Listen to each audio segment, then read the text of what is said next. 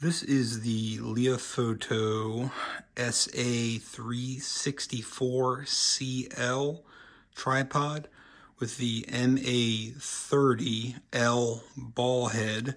So this is kind of the really right stuff super knockoff of the uh, Anvil 30 ball head.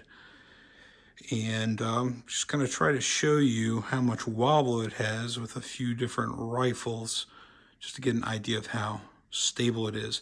Now, the only other experience I have shooting off of tripods was with a Manfrotto aluminum tripod with a pig saddle. Uh, so this AR is right around 11 pounds. Locked in there. I'll give it a few taps. So, I don't know. So it definitely has some a little bit of wobble to it. I've never had any experience with the really right stuff tripods at the same, uh, the, the, similar ones, you know, like the, the old Anvil 30 combo that they have. Um, I'm not a tripod expert by any means, but right now, this is the L model. It has the three largest leg segments deployed. Uh, it's sitting right at about 55 inches from the bottom to the uh, top of the ball head.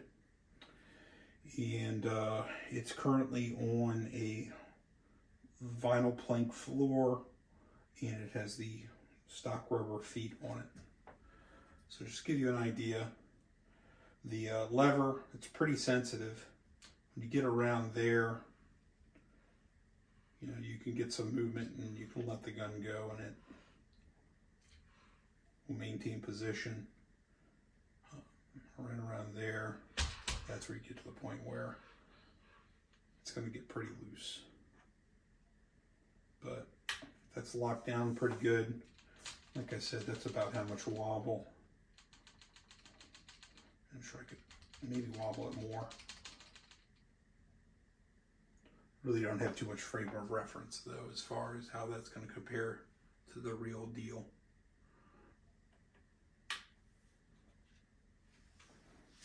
So that's an uh, 11 uh, pound rifle.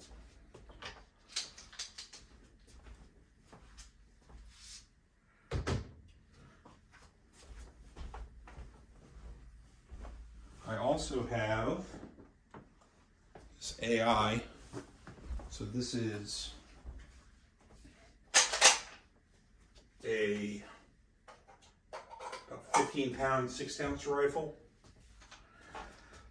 I don't have any Picatinny rails, or I, well, what I'll do is I'll get the uh, the Really Right Stuff AI Arca plate or Really Right Stuff dovetail plate.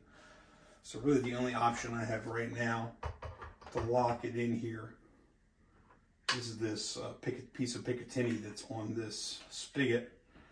And uh, I mean, the ball head, ball head itself is pretty strong. I mean, that's like I said, it's a over 15 pound rifle hanging off the end of that. Definitely got a lot more wobble, but know, then again, also not really sitting at its balance point.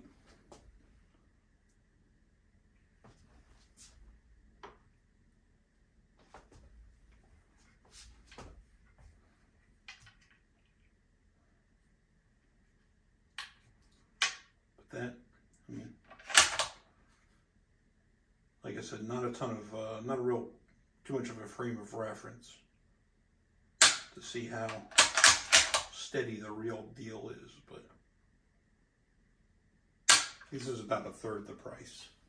I think these go for about 500 if you uh, catch like a coupon code or a, or maybe on eBay make an offer. It's right around 500 chipped. So hopefully that'll give somebody an idea of what you're getting if you order one of these.